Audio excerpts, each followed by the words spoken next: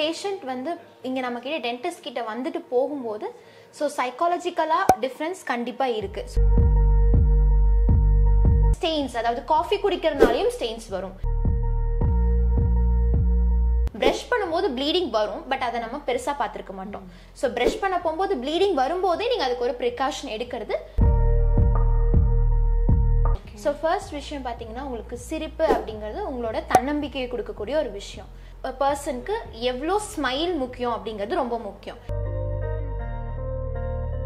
பல்ல தொந்தரவு வந்தா தான் டென்டிஸ்ட் பார்க்கணுங்கிற ஒரு அவேர்னஸ் வந்து கிரியேட் ஆகணும். ஸோ உடஞ்சிருக்கிற பல்லுக்கும் சொத்தை வந்து பாதிக்கப்பட்ட பல்லுக்கும் பல்லுடைய கரைகள் ஸ்டெயின்ஸ்னு சொல்லுவோம். பல்லுடைய கரைனால பல் பாதிக்கப்பட்டதுக்கும் மூணும் வெவ்வேறு டைப் ஆஃப் ட்ரீட்மெண்ட் இருக்கு. ஸோ ஸ்டார்டிங்லேயே சின்னதாக சொத்தையாக இருக்கும் போதே அதை எடுத்துட்டு அடைக்கிறது நல்லதுங்க. ஸோ அது பண்ணுற மூலமாக நம்ம பல்லை வந்து வலி இல்லாமல் பல்லை காப்பாற்றிக்க முடியும். டென்டிஸ்ட் கிட்ட வந்து நம்ம சிக்ஸ் மந்த்ஸ் ஒன்ஸ் விசிட் போய் நம்மளோட பல்ல என்னெல்லாம் ப்ராப்ளம் இருக்குன்னு செக் அவுட் பண்ணி அதை வந்து ஸ்டார்டிங் ஸ்டேஜ்லேயே வந்து முடிச்சுக்கிறது நல்லதுங்க. ஸோ பல்லுக்கு தொந்தரவு வர்றதுக்கு முன்னாடியும் ஒரு செக்கப் இருக்கணும். So dental routine checkup at least six months once ரொம்ப முக்கியம்.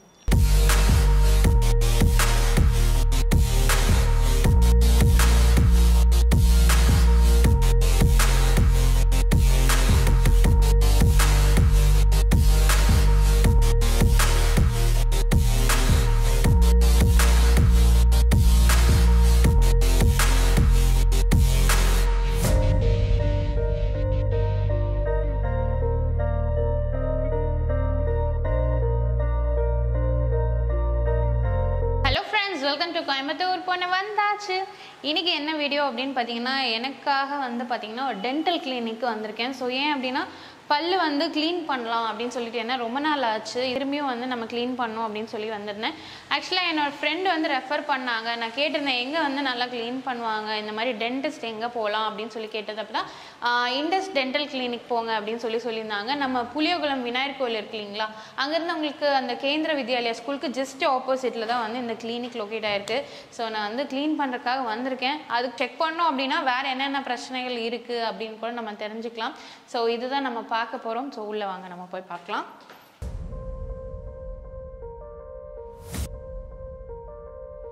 ஹலோ மேம் ஹலோ வணக்கம். மேம் எனக்கு வந்து பல் வந்து க்ளீன் பண்ணும் அப்படிங்கிறதுக்காக வந்திருக்கேன். ஸோ என் ஃப்ரெண்டு ரெக்கமெண்ட் பண்ணாங்க. இங்கே ஆல்ரெடி அவங்க ட்ரீட்மெண்ட் எடுத்துருக்கிறதா சொன்னாங்க. ஓகேங்க ஸோ அதனால எந்த மாதிரி பண்ணலாம் மேம் நம்ம கிளினிக்ல வந்து பாத்தீங்கன்னா எல்லா ப்ரொசீஜர்ஸுமே பண்ணிட்டு இருக்கோம் Okay. ஜஸ்ட் நீங்க சொன்ன மாதிரி ஜென்ரல் கிளீனிங் பண்றோம். ப்ளஸ் பல்லு வலி ஏதாவது இருந்துச்சு அப்படின்னா ரூட் கனல் பண்ணி கேப் போடுற ப்ரொசீஜர்ஸும் இல்லை இருக்கு. ஓகேங்க ப்ளஸ் பல்லு வந்து ஸ்டார்டிங்லேயே சின்னதாக சொத்தையாக இருக்கும் போதே அதை எடுத்துட்டு அடைக்கிறது நல்லதுங்க. சிமெண்ட் போட்டு அடைச்சிக்கலாம். சிமெண்ட்லேயே நம்மளுக்கு ரெண்டு வெரைட்டியில் இருக்கு. டூத் கலர்லேயே இப்போ சேம் ஷேடு மாதிரியே இருக்கும். உங்களுக்கு டிஃப்ரென்ஸே தெரியாது. அந்த மாதிரியும் இருக்கு நம்மளுக்கு. ப்ளஸ் வந்து அந்த சொத்தை வந்து கவனிக்கல. கொஞ்சம் ஆழமாக போயிடுச்சு அப்படின்னா வேர் வரைக்கும் போயிடும். ஸோ அந்த மாதிரி சமயத்தில் நம்ம வந்து ரூட் கெனல் ட்ரீட்மெண்ட் வேர் சிகிச்சை அப்படின்னு சொல்லுவோம். ஸோ அது பண்ணுற மூலமாக நம்ம பல்ல வந்து வலி இல்லாமல் பல்ல காப்பாற்றிக்க முடியும். நார்மலாக நம்ம சாப்பிட்ற மாதிரி சாப்பிட்டுக்கலாம். கேப் போட்டுட்டோம் அப்படின்னா. ஸோ அந்த மாதிரி ப்ரொசீஜர்ஸ் இருக்கு. சப்போஸ் அந்த டூத்தை வந்து எதுவுமே பண்ணாமல் காப்பாற்ற முடியல எடுக்க வேண்டிய சுச்சுவேஷன் அப்படின்னா அதை எடுத்துட்டு ரீப்ளேஸ்மெண்ட்டுக்கும் நம்மளுக்கு ஆப்ஷன்ஸ் இருக்குங்க. இருக்கு. ஓகே ஓகேங்க ஸோ நிறைய ப்ராசஸ் பண்ணிட்டு இருக்கேன் ம், ஆமாங்க. ஓகே ஓகே மேம் எங்கே மட்டும்தான் கிளினிக்குங்களா இல்லை வேற எங்கேயாவது இருக்கு? நம்ம கிளினிக் பார்த்தீங்கன்னா வந்து மூணு பிரான்ச்சஸ் இருக்குங்க. ஃபர்ஸ்ட் ஒன் பார்த்தீங்கன்னா இங்கே மீனா எஸ்டேட்டு புளியக்குளம் விநாயகர் கோயிலுக்கு ஆப்போசிட்ல சௌரிபாளையம் ரோட் இருக்கு. அங்கே கேந்திரிய வித்யாலயா ஸ்கூலுக்கு ஆப்போசிட்ல இங்கே நம்ம லொக்கேட் ஆமாங்க. ஆஹ் இன்னொரு பிரான்ச் பார்த்தீங்கன்னா சுக்ரவார்பேட் அதாவது டவுன் ஹால் பக்கத்துல. பூ மார்க்கெட் நியர்பை இருக்குங்க. ப்ளஸ் தேர்ட் பிரான்ச் வந்து வீரபாண்டி பிரிவு மேட்டுப்பாளையம் கிட்ட ஒரு பிரான்ச் இருக்கு. இப்போ வந்து ஃபோர்த் பிரான்ச் வந்து பல்லடம்ல ஒர்க் போயிட்டு இருக்கு இனி லான்ச் பண்ணல. பண்ணதுக்கு அப்புறம் inform. ஓகே ஓகே ஏன்னா நிறைய பேர் பார்த்தீங்கன்னா பல்லு வலி அப்படின்னா மட்டும்தான் பல் டாக்டர்கிட்ட போவோம். ஸோ அந்த மாதிரி இருக்கும்போது இப்போ நிறைய டிஃப்ரெண்ட்டாக வந்துருச்சு இல்லைங்களா? இதுலேயும் நிறைய அப்டேட்ஸ் எல்லாம் வந்திருக்கு. ஆமா கண்டிப்பா. ஆக்சுவலா வந்து டென்டிஸ்ட் கிட்ட வந்து நம்ம சிக்ஸ் மந்த்ஸ் ஒன்ஸ் விசிட் போய் நம்மளோட பல்ல என்னெல்லாம் ப்ராப்ளம் இருக்குன்னு செக் அவுட் பண்ணி அது வந்து ஸ்டார்டிங் ஸ்டேஜ்லயே வந்து முடிச்சுக்கிறது நல்லதுங்க. ஏன்னா விட்டோம் அப்படின்னா நம்மளுக்கு வந்து ஜென்ரலா எல்லாம் செலவு பார்ப்பாங்க இல்லைங்களா? ஸோ செலவும் ஜாஸ்தி டைமும் ஜாஸ்தி நம்மளுக்கு. அதுதான். நம்ம ஸ்டார்டிங்ல சிக்ஸ் மந்த்ஸ் ஒன்ஸ் வந்து டென்டிஸ்ட் கிட்ட ஒரு கரை படிஞ்சிருந்தாவோ இல்ல சொத்த ஸ்டார்டிங்லயே ஒரு சின்ன பாயிண்ட்ல இருந்திருந்தாவோ அதை எடுத்துட்டு அடைக்கிறது நல்லது. விட்டோம் அப்படின்னா நம்மளுக்கு ப்ரொசீஜர் வந்து கொஞ்சம் இதாயிட்டு தான் போகும். ஸோ நம்மளுக்கு வந்து எப்படின்னா இப்போ பல்லு வலி வந்துருச்சு அப்படின்னா ரூட் கெனல் பண்ணி கேப் மாதிரி போட்டுக்கலாம். இப்போ அது இல்லை பல்லு எடுக்கணும் அப்படின்னா எடுத்துட்டு நம்ம வந்து அந்த இடத்துல இம்ப்ளான்ட்னு சொல்லுவோம். இம்ப்ளான்ட்னா ஸ்க்ரூ மாதிரி ஒரு இது இருக்குங்க. அந்த இடத்துல அந்த எலும்பு கிட்ட ஒரு ஸ்க்ரூ மாதிரி போட்டுட்டு கேப் போடுற மூலமா ஃபிக்ஸடா நம்ம வச்சுக்கலாம். ஸோ இந்த இடத்துல வந்து நம்ம பல்ல காப்பாற்ற முடியல.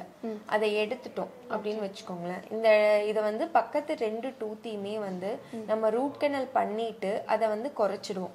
குறைச்சிட்டு இந்த மாதிரி ஒரு பிரிட்ஜ் பிரிட்ஜ்னா இந்த மூணு பல்லு அட்டாச் ஆன விதமா நம்ம வந்து இப்படி அட்டாச்சா அப்படியே ஃபிக்ஸடா போட்டுக்கலாம். கழட்டி மாட்ட மாதிரிலாம் இருக்காது. அவங்களுக்கு அப்படியே சிமெண்ட் போட்டு அப்படியே ஃபிக்ஸடா இருக்கும். எல்லாமே சாப்பிட்டுக்கலாம். நார்மலா பல்லு மாதிரியே இருக்கும். எந்த டிஃப்ரென்ஸுமே தெரியாது உங்களுக்கு. ஓகே ஓகே மேம் அதுலயே வெரைட்டி ஆஃப் கேப்ஸ் இருக்கு. ஒவ்வொரு வெரைட்டிலையும் உங்களுக்கு போகும். இதெல்லாம் என்னது மேம் இதெல்லாம் பாத்தீங்கன்னா டென்டல் இம்ப்ளான்ட் அதாவது இந்த இந்த ப்ரொசீஜர்ல நம்ம என்ன பண்ணுவோம்னா பக்கத்து ரெண்டு டூத்தையும் வந்து ரூட் கெனல் பண்ணி குறைப்போம் இல்லைங்களா? ஸோ இதுல அந்த மாதிரிலாம் எதுவும் கிடையாது. பக்கத்து டூத்தையெல்லாம் நம்ம எதுவுமே நம்ம டேமேஜ் பண்ண மாட்டோம். இந்த இந்த இடத்துல மட்டும் நம்ம பல்லு இல்லை அப்படின்னா இந்த ரெண்டு இடத்துலயும் ஸ்க்ரூ போட்டுட்டு ஜஸ்ட் இந்த கேப்பை மட்டும் நம்ம வச்சிருவோம். அந்த மாதிரி இருக்குங்க. சப்போஸ் ஒரு இடத்துல மட்டும் எனக்கு பல்லு இல்லை அங்க மட்டும் வைக்கணும் அப்படின்னு சொன்னீங்கன்னா இந்த இடத்துல மட்டும் ஸ்க்ரூ போட்டுட்டு ஒரே ஒரு பல்லை நம்ம வச்சுக்கலாம். ஸோ அந்த மாதிரி ப்ரொசீஜரும் இருக்கு. ஸோ இதுதான் பல்லு சொத்தைங் இந்த கருப்பா இருக்கும் இல்லைங்களா? இந்த மாதிரி சொத்தை இருக்கும். இது வந்து நர்வ் கிட்ட போற வரைக்கும் நம்மளுக்கு எதுவுமே வலி இருக்காது. இந்த சொத்தை வந்து இதுதான் நர்வ் பார்ட்னு வச்சுக்கோங்களேன். பல்லோட வேர் ப வேர் பகுதி. இது வந்து ஸ்டார்டிங்ல நம்மளுக்கு வலி எதுவுமே இருக்காது. ஆனா நம்ம டென்டிஸ்ட் கிட்ட போயிட்டு இந்த மாதிரி ஸ்டேஜ்லயே அடைச்சிக்கிறது நல்லது. ஸோ இந்த சொத்தை கொஞ்சம் டீப்பா வேர் வரைக்கும் போனாதான் நம்மளுக்கு கூச்சமோ வலியோ அந்த மாதிரி வரும். மோஸ்ட் ஆஃப் த பீப்புள் அந்த மாதிரி ஸ்டேஜ்ல தான் வராங்க டென்டிஸ்ட் கிட்ட. ஸோ அந்த மாதிரி இருக்கும்போது நம்ம நார்மலா சிமெண்ட் வச்சு அடைக்கவே முடியாது. நம்ம வேர் வரைக்கும் போயிருக்கிற இன்ஃபெக்ஷனை க்ளீன் பண்ணிட்டு வேர் சிகிச்சை மூலமா நம்ம பல்ல காப்பாத்திக்க முடியும். அது பண்ணி வேணா நம்ம கேப் வேணா போட்டுக்கலாம். ப்ளஸ் வந்து மோஸ்ட்லி வந்து ஆஹ், கடவாப்பல்லு வந்து சொத்தை இருக்கும். விஸ்டம் டீத் சொத்தையெல்லாம் இருக்குங்க.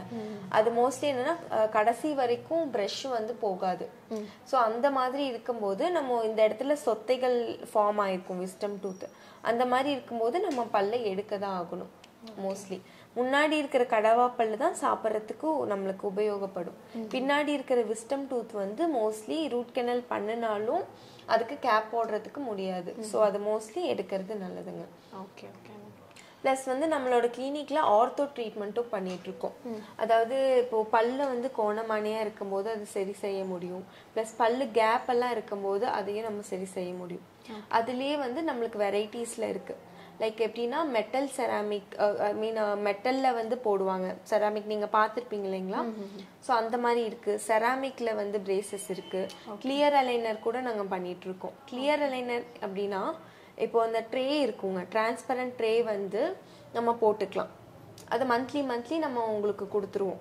ஸோ டுவெல் மந்த்ஸ் அப்படின்னா டுவெல் மந்த்ஸ்க்கான ட்ரேவை வந்து நான் உங்களுக்கு செட்லயே நாங்கள் அப்படியே கொடுத்துருவோம். மந்த்லி மந்த்லி சேஞ்ச் பண்ணு சேஞ்ச் பண்ணிக்கணும். நீங்கள் வீட்லயே கூட சேஞ்ச் பண்ணிக்கலாம். ஓகேங்க அந்த மாதிரி செட்டோட நாங்கள் கொடுத்துருவோம்.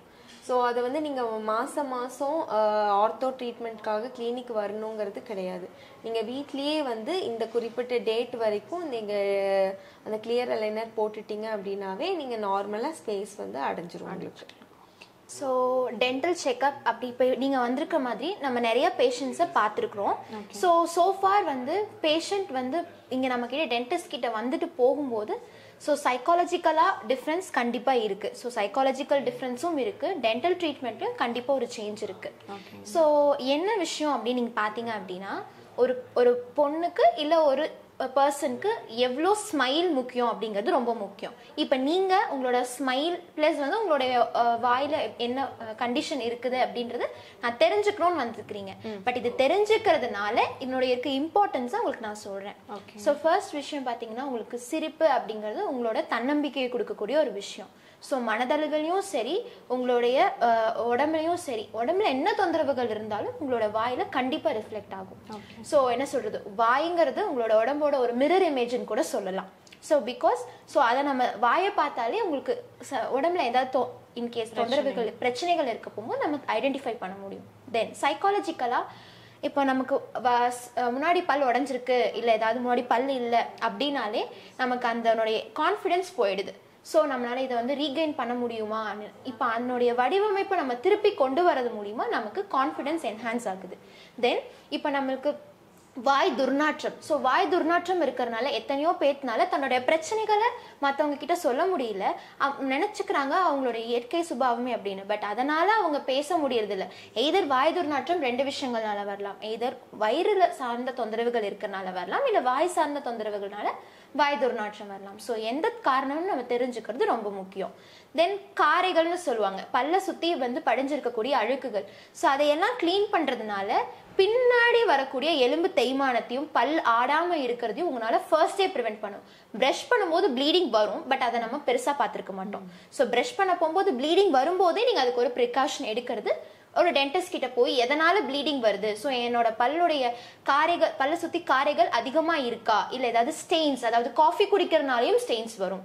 ஸோ அதனுடைய ஸ்டெயின்ஸ் எல்லாம் எவ்வளோ அதிகமாக இருக்குது இல்லை அதை அதை வந்து அப்போவே தென் அண்ட் தென் நீங்கள் கிளியர் பண்ணிக்கிறது ரொம்ப இம்பார்ட்டண்ட்டு தென் பார்த்தீங்க அப்படின்னா உங்களுடைய ட்ரீட்மெண்ட் எந்த ஏஜில் ட்ரீட்மெண்ட் ஸ்டார்ட் பண்ண ஸோ ட்ரீட்மெண்ட் ஸ்டார்ட் பண்ணுறது ஃபார் எக்ஸாம்பிள் தாடை சம்மந்தப்பட்ட ட்ரீட்மெண்ட் எல்லாமே நீங்கள் பதிமூணு வயசு பர்மனன்ட் பல் எல்லாம் முளைச்சதுக்கப்புறம் அதாவது பால் பல் விழுந்து பர்மனெண்ட்டாக இருக்கக்கூடிய பல் முளைச்சதுக்கப்புறம் ட்ரீட்மெண்ட்டே ஸ்டார்ட் பண்ணலாம்.